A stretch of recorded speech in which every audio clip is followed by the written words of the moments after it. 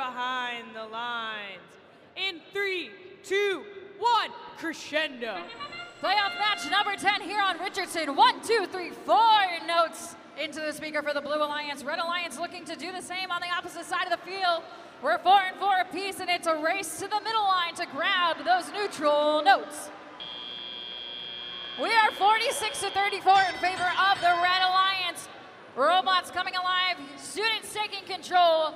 80-13, the Boston Lions quickly jumping to that middle line to drop it a note into the amp for the Red Alliance as their partners 51-12 being shut down by this Blue Alliance trying to head over and grab some of those notes.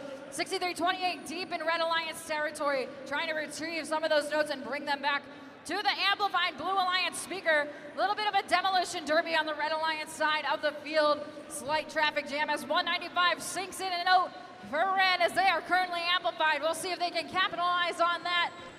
53 to 45 as it stands. A very close match indeed.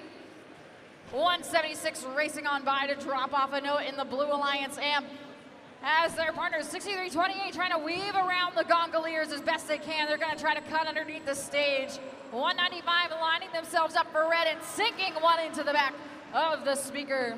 Red Alliance currently amplified. Let's see if they can capitalize on that and extend their lead. Blue Alliance not that far behind. With a couple amplified notes in the speaker, they might be able to narrow that gap 195 launching a note up and across the stage for the Red Alliance. Their partners, the Boston Lions, trying to retrieve it and score it in the amp. We are 81 to 61 in favor of Red with about a minute left to go here in match number 10. Aces High making their way over to the amplifier, dropping one in for Blue as their partner 60-28 launching one in for two points up into that Blue Alliance speaker. Back on the Red Alliance, 80-13, sinking in a shot for Red right off the bat.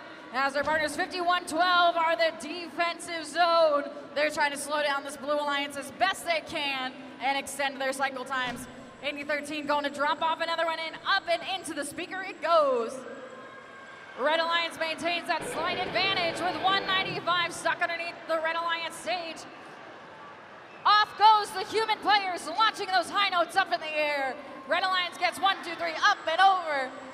As teams make their way over, Boston Alliance looking to go for the trap, sinking it in they go as they go off the rook.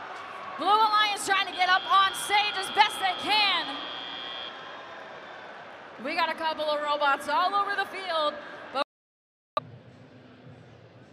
we have the results of match number 10 coming up on the board.